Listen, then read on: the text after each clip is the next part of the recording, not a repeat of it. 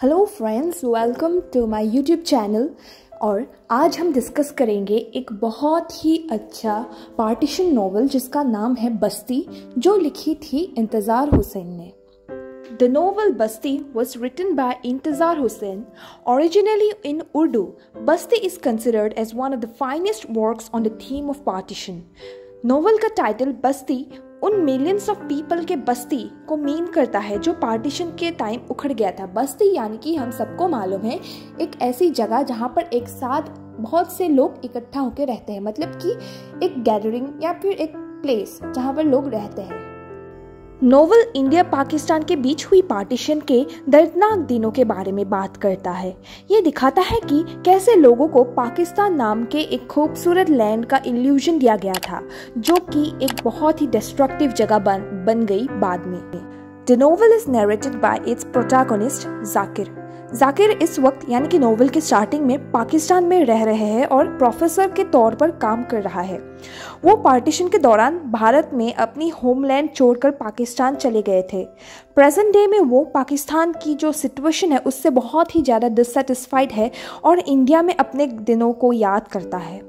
वो अक्सर अपनी खूबसूरत होमलैंड जो कि रूपनगर नाम का एक विलेज था, उसके बारे में सोचता है और सोचकर बहुत ही नॉस्टैल्जिक हो जाता है। तो फ्रेंड चलिए मैं आपको थोड़ा सा रूपनगर के बारे में बता देती हूँ। तो रूपनगर एक खूबसूरत गाँव के रूप में डिस्क्राइब किया गया है, जो कि उत्तर प्रदेश में ही कहीं सिचुएटेड है। ये वो गाँव है जहाँ सभी लोग बिना किसी प्रॉब्लम्स के हारमोनी और शांति से रहते थे। रूपनगर एक फिक्शनल प्लेस है मतलब ये ओरिजिनली कहीं पर सिचुएटेड नहीं है। लेकिन ये विलेज बताती है कि अगर बंटवारा यानी कि पार्टीशन नहीं होती तो हिंदू मुस्लिम के बीच का रिश्ता कैसा होता? यानी कि वो बहुत ही पीसफुल और हारमोनियस होता, भाईचारे के रूप में हमें दिखाई देता। रूपनगर में मंदिर के पास एक जंगल था। जंगल के पास मुसलमानों के लिए एक करबाला भी था, यानी कि मंदिर भी था और करबाला भी था, जो कि हमें सिंबलाइज करता है कि हिंदू, मुस्लिम के बीच एक बहुत ही फ्रेंडली रिलेशनशिप एग्जिस्ट करता था इंडिया में। एक बार क्या हुआ, रूपनगर में एक बहुत ही भयानक प्लेग बीमारी फैल गई थी, जिसने बहुत सारे लोगों की जान ले ली थी। बाद में ये प्लेग बीमारी चला गया था और फिर से सिचुएशन नॉर्मलसी की तरह आ गई थी। और रूपनगर में पहले इलेक्ट्रिसिटी हुआ नहीं करता था। लेकिन जैसे ही इनोवेशन होने लगी तो रूपनगर में इलेक्ट्रिसिटी की शुरुआत भी की गई। बहुत सारे बंदर, यानी कि मंकीज बिजली के तारों और खंभों पर खेल रहे थे और उनमें से बहुत से बंदर बिजली का शौक लगने से मर गए थे।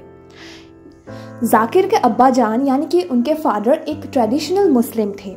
उनका मानना ये था कि इलेक्ट्रिसिटी का यूज़ करना एक इनोवेशन है और ये इनोवेशन इस्लाम में प्रोहिबिटेड है। इसीलिए जाकिर के पिता ने मस्जिद में बिजली के इस्तेमाल का सख्त विरोध किया था। और इसीलिए वो इलेक्ट्रिशियन को बिजली लगाने से रोकने के लिए रोज मस्जिद की जो मेन गेट होती थी, वहाँ पर खड़े रहते थे। हालाँकि एक दिन उनकी माँ, यानी कि जाकिर की दादी की देहांत हो गया और उन्हें अपने घर जाना पड़ा। तभी अगले दिन जब जाकिर के फादर मस्जिद में गए तो उन्होंने देखा कि बिजली लगाई गई थी। मतलब उस एक दिन में ही ऑलरेडी बिजली इंस्टॉल्ड हो गई। और तभी जाकिर के फादर ने डिसाइड किया कि अपने पूरे एंटायर लाइफ में वो फिर कभी उस मस्जिद में कदम नहीं रखेंगे। अब ये तो हो गया एक ऐसे इंसिडेंट जो रूपनगर में हुई थी जाकिर के लाइफ में। अब आप सुनिए दूसरा इंसिडेंट बचपन में जाकिर की खाला जान अपनी दो बेटी सबीरा और ताहिरा के साथ उनके घर आती थी। जाकिर की सबीरा से गहरी रिलेशनशिप डेवलप हो गया था, जो जल्द ही दोस्ती से ज़्यादा कुछ में बदल गया था। वो साथ ही खेलते थे और घंटों तक खेलते रहते थे वो दोनों। उन दोनों में एक अट्रैक्शन डेवलप हो गई थी। हालाँकि जाकिर रूपनगर को छोड़ देता है और व्यासपुर नाम के एक प्लेस में चला जाता है और बाद में बाद में अपनी हायर स्टडीज़ के लिए मीरत चले जाता है। जब वो मीरत चला जाता है तो वो सबीरा के साथ कनेक्शन खो देता है।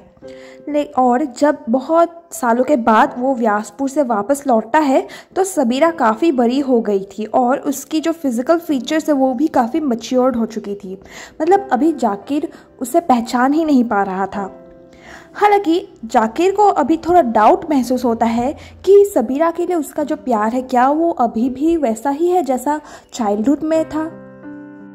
After these the time comes when Zakir family moved to Pakistan सबसे पहले जाकिर का परिवार श्यामनगर नाम का एक टाउन में रहते थे।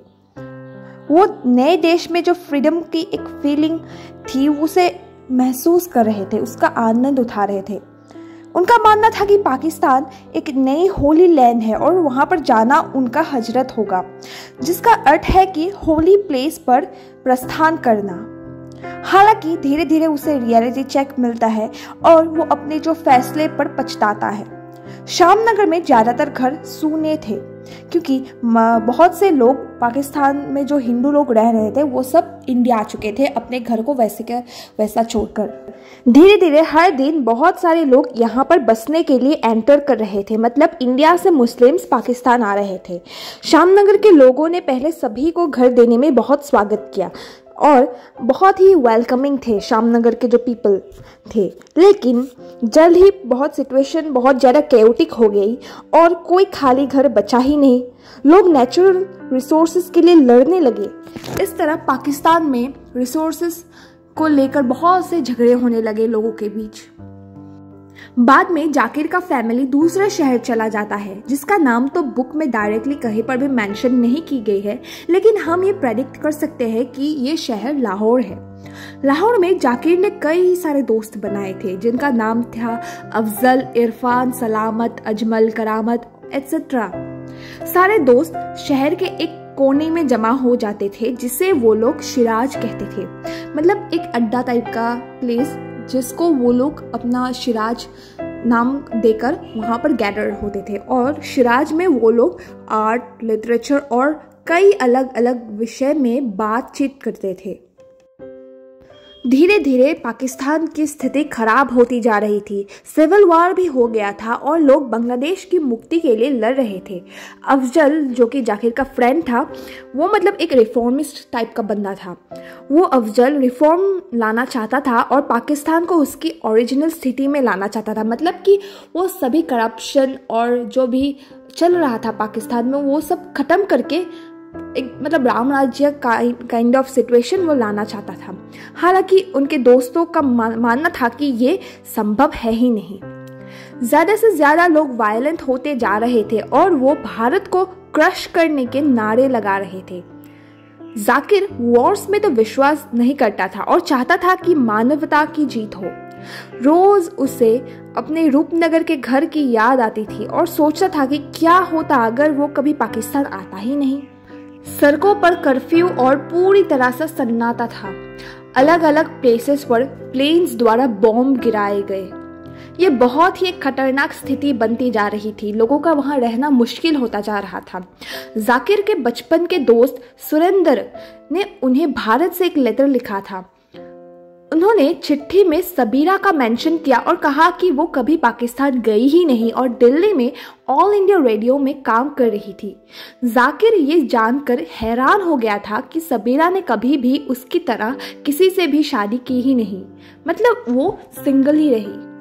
जाकिर की माँ ने उसे सबीरा को एक चिट्ठी लिखने के लिए कहा, लेकिन जाकिर नहीं लिखता है और ना ही कभी उससे मिलने के लिए कोई भी कदम उठाता है। इस तरह हम देखते हैं कि पार्टीशन के बाद जाकिर और सबीरा फिर कभी एक दूसरे से नहीं मिल सके। पाकिस्तान के हालात बद से बदतर होते जा रहे थे। लोग भागना तो चाहते थे, लेकिन ये असंभव था। जाकिर के लिए सिचुएशन से एस्केप करने का एक ही रास्ता था, जो कि वो था कि भारत में जो अपनी होम प्लेस थे। होम प्लेस था जो है रूपनगर। उसको अपनी इमेजिनेशन पर लाना।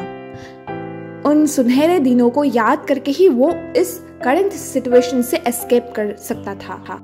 इसी तरह इस नॉवल की एंडिंग हो जाती है। एंडिंग में कुछ सिचुएशन का सुधार तो हमें देखने को नहीं मिलता है। पाकिस्तान की सिचुएशन वर्स्ट होती जा रही थी और जाकिर एस्केप नहीं कर सकता था फिजिकली लेकिन मेंटली वो अपने पास्ट पर चला जाता था, जिससे उसे रिलीफ मिलता था। मतलब यहाँ पर हमको दिखाई देता है कि पास्ट एक रिलीफ का सोर्स बनता जा रहा था जाकिर के लिए।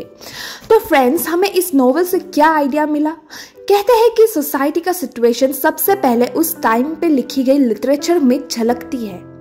पार्टीशन के वक्त कितनी वायलेंस और दर्दनाक सिचुएशन बना था, वो हमें बस्ती जैसे कई और नॉवेल्स पढ़कर समझ में आता है। जाकिर ने एक गलत डिसीज़न लिया, जो उसने फ्लो फ्लो में आके लिया था, यानी पाकिस्तान शिफ्ट होने का, क्योंकि उस वक्त हर कोई पाकिस्तान की सिर्फ़ तारीफ़ ही कर रहा था। लेकिन वहाँ शिफ्ट होने के बाद ही उसे रियलाइज़ हुआ कि ये पार्टीशन कितना गलत था। पार्टीशन से किसी का भी भला नहीं हुआ, सिर्फ़ पॉलिटिकल लीडर्स का एजेंडा फुलफिल हुआ था। पॉलिटिशियंस ने लोगों के बीच एक डिस्क्रिमिनेशन पैदा किया था। जो लोग पहले भाई भाई की तरह रहते थे इंडिया में, वही लोग एक दूसरे को मारने, काटने की बात करने लगे। आज तक पार्टीशन के साइड इफ़ेक्ट्स लोग भुगतते ही जा रहे हैं। तो दोस्तों, मुझे आशा है कि आप बस्ती नॉवल को अच्छे से समझ गए होंगे। प्लीज़ मेरे चैनल गाइडिंग लिटरेचर को सब्सक्राइब कर दीजिए और इस वीडियो को लाइक एंड शेयर कर दीजिए। Thank you